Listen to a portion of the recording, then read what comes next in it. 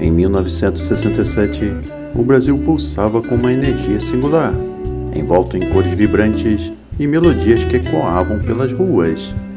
Nas ruas movimentadas das grandes cidades, as pessoas se cumprimentavam com sorrisos sinceros, compartilhando histórias e sonhos. As crianças brincavam despreocupadas nas calçadas, enquanto os adultos se entregavam ao ritmo contagiante da bossa nova, sobretudo aos grandes sucessos da Jovem Guarda. Nas pequenas cidades do interior, a vida seguia seu curso tranquilo, embalada pelo som dos pássaros e o cheiro da terra molhada. Era uma época em que as relações humanas eram mais próximas e verdadeiras, onde as pessoas se ajudavam mutuamente e compartilhavam momentos de felicidade simples, como um passeio no parque um almoço em família. Senhoras e senhores, sejam todos muito bem-vindos a mais um vídeo do canal. Meu nome é Renato e gostaria de contar com a audiência dos amigos em mais esse vídeo, voltando ao ano de 1967.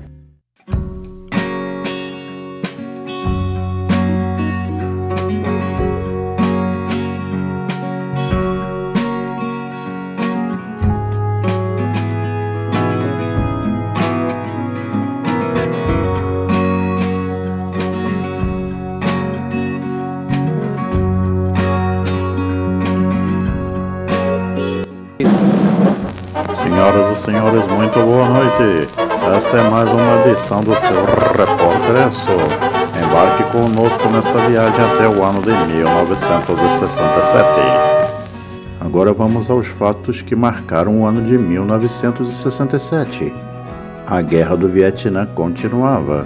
No final do ano, o número de soldados norte-americanos atingia 463 mil, com 16 mil mortes em combate até a data.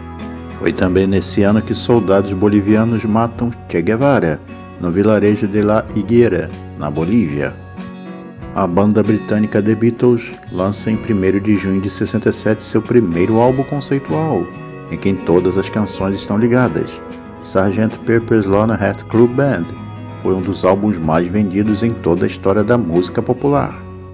Os três tripulantes da Apollo 1, Gus Grissom, Ed White e Roger Sheffield, morreram em um incêndio durante o teste no dia 27 de janeiro de 67.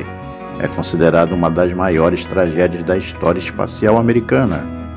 Poucas guerras foram tão curtas e tiveram consequências tão amplas e duradouras.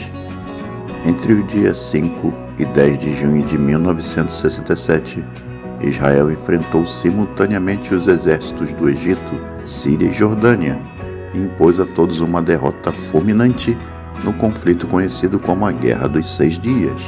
Chamado de Verão do Amor, Summer of Love, foi um fenômeno social com manifestações em várias partes do mundo em meados de 67, durante o verão do hemisfério norte.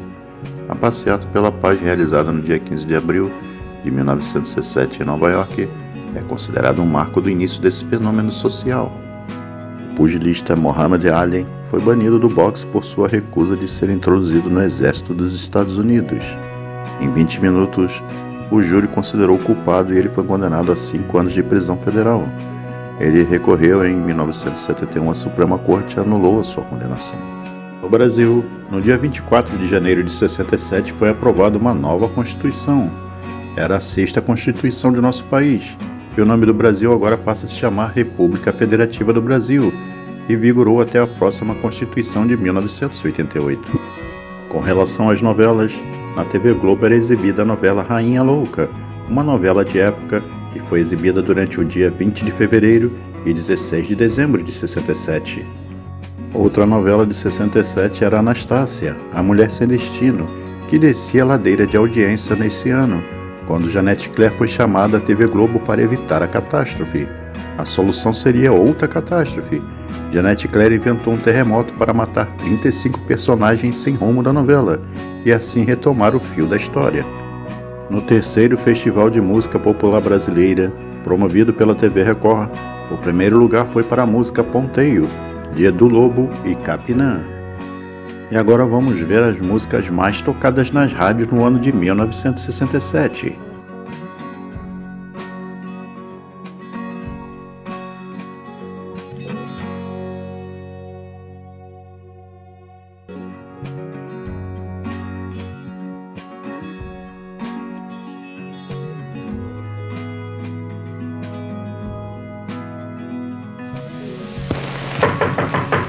Bate?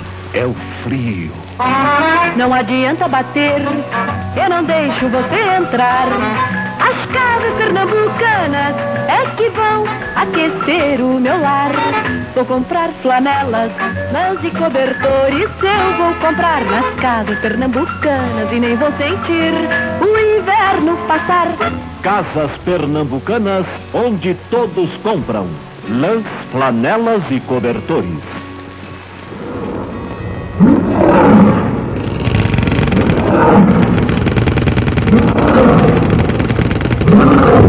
Prepare-se para ver os novos modelos Volkswagen 67. Eles já estão à solta. O sedã Volkswagen de 36 HP vem agora com um motor de 46 HP. A Kombi passou de 36 para 52 HP e carrega até uma tonelada de carga. E o Carmania também vem com 52 HP no motor. Com estas e muitas outras inovações, eles já estão à solta.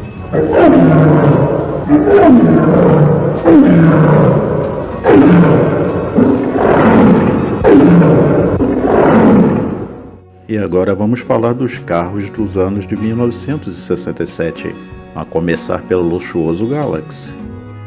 Na indústria automobilística surge o Galaxy, carro que revolucionou o ano dos brasileiros. Seu fabuloso silêncio interno e maciez de funcionamento eram completamente desconhecidos até então entre nós, com relação aos carros nacionais produzidos aqui.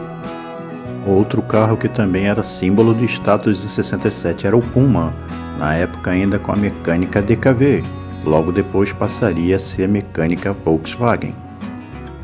O Cinca Regente, já preparado pela Chrysler, foi uma versão mais simples do Esplanada.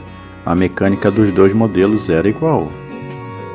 Em 67, a Carmanguia recebeu um novo motor de 1.500 cilindradas, em substituição ao antigo de 1.200, e seu painel foi modificado. Quem também ganhou o novo fôlego em 67 foi o Fusca, até então equipado com motor de 1.200 cilindradas, passou a ser equipado agora com motor de 1.300. O DKV Vermag Belka S foi o último modelo DKV produzido no país.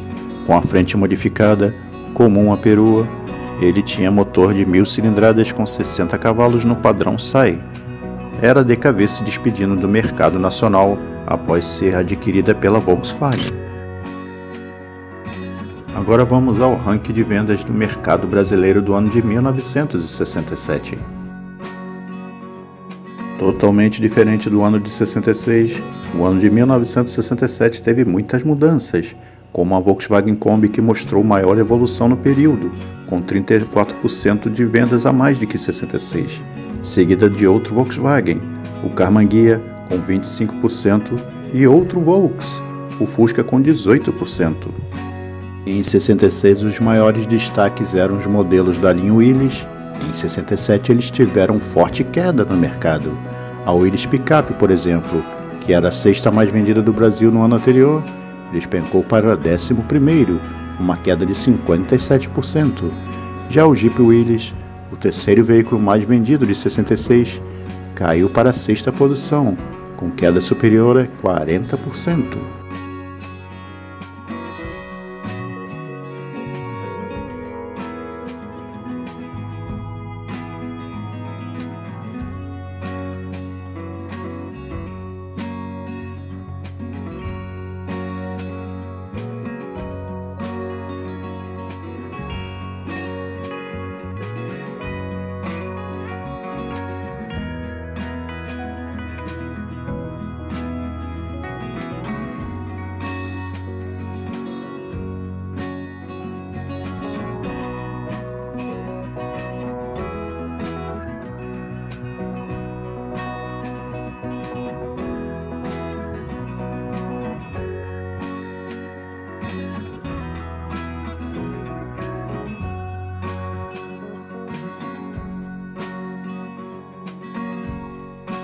Agradecemos a todos por terem assistido até aqui nosso vídeo.